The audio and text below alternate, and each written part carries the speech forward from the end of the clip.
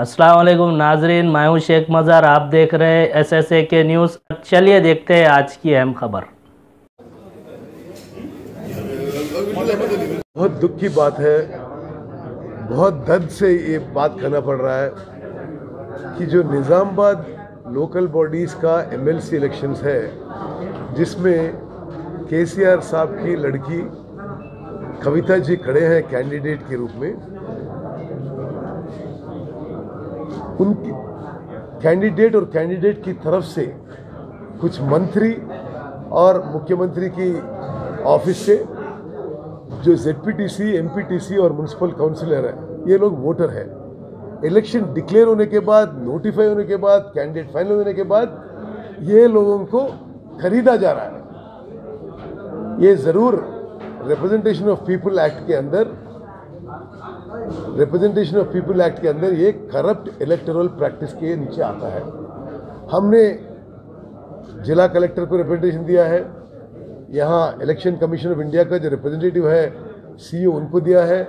आज हम election commission of India को अप्रोच कर रहे हैं कि ये करप्ट इलेक्टोरल प्रैक्टिसेस जो इंडल्ज कर रहे हैं, उनको इलेक्शन से डिस्क्वालीफाई करिए।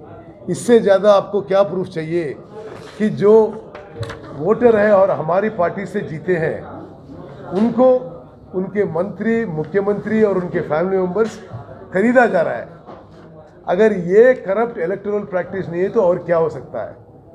हमारी डिमांड है इलेक्शन कमीशन ऑफ़ इंडिया को। इस आधार से, इस डॉक्यूमेंट से, इस एविडेंस से टीआरएस कैंडिडेट को डिस्क्वालीफाई करनी चाहिए। बहुत धन्यवाद। पीसीसी प्रेसिडेंट साहब रेवंत रेड्डी जी, हमारे कैंडिडेट सुभाष रेड्डी जी यहाँ बैठे आपसे डिटेल्स में कहे कि लोकल बॉडी इलेक्शन ये पंचायत राज एक्ट 73 74 के तहत जो कोई भी कारपोरेटर ज़िला परिषद member Mandal Praja Parishad president municipal councillor ये पार्टी के टिकट पे जो लोग भी जीते हैं, जिस पार्टी पे भी जीते हैं, वो उनका टाइम उनका मियाद ख़त्म हुए तक उसी पार्टी में रहना है। वो पार्टी चेंज नहीं कर सकते। जैसे कि पार्लियामेंट और असम्बली में टू थर्ड मेजॉरिटी के बाद बदल सकते हैं बोल के इंटरप्रिटेशन है, लेकिन इसके अंदर तो क्लैरिटी है। जिस दिन खंडवा पार्टी बदले, उसी दिन कलेक्टर को अख्तियार है, उनको डिस्कवालीफाई कर देना। ये बात हमने यहाँ के स्टेट इलेक्शन कमीशन को रिप्रेजेंटेशन सबूत के साथ दिए। उन्होंने कहा कि कलेक्टर को दे दो, कामारेड्डी कलेक्टर और निज़ामबाद कलेक्टर को भी दिए हैं। वो लोग कोई एक्शन नहीं लिया जा रहा है। जिस तरीके से बाज़ार में भैंसों की, बकरों की खरीदी हो रही, उससे भी बदतर तरीके से ओपन मार्केट में, ओपन बाज़ार में पाँच लाख, दस लाख, बीस लाख, अठारह लाख, चौदह लाख कीमत के साथ इनको ख़रीदा जा रहा है। और ओपनली के कविता, कैंडिडेट, अदर पार्टी के लोगों को उनका खंडवा डाल रहे हैं। इसकी तस्वीर भी आपको हम बता चुके हैं कि इस तरीके से ये टोटल इलीगल है कि कोई भी किसी दूसरे जमात को लोकल बॉडी में नहीं डाल सकते। ये डालने का सबूत देने के बाद भी डिस्कालीफाई हुकूमत नहीं कर रही है। इससे ज़ाहिर है कि के अपनी बेटी को जिताने के लिए सारे खवानीन को ख़त्म कर रहे हैं। और सारे इलेक्शन के जो नियम, जो क़ानून है, उसको भी मिट्टी में मिला रहे हैं।